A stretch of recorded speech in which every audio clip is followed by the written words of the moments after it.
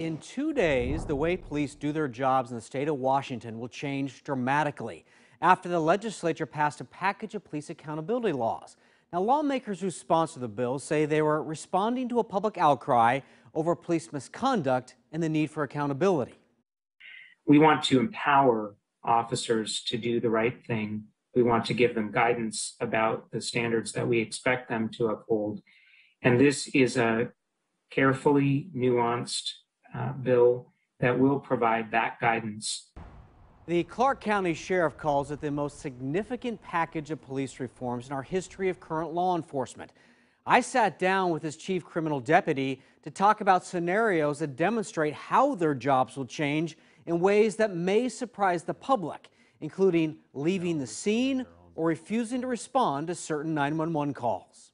So We've given our, uh, our people some instructions on, here's a few calls that we are not going to be going to as a general rule, but there's, a, there's an exception to every rule. There's a scenario where you could have to let a bank robbery suspect go driving down the street.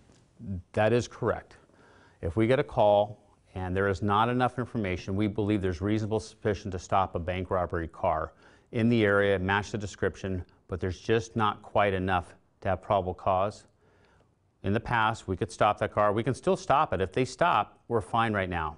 But if for some reason they say they want to leave or they don't or they run, we can't pursue that vehicle minus probable cause. The parents call in, they say, we, we know she's at her friend's house uh, down the road. She won't come home. Um, we, we get a call, we go there, we walk in, we say it's time to go home, or, we, or if we're going to a group home, they get in the car, we take them, no issue. If she or he runs out the back, we can no longer grab onto them.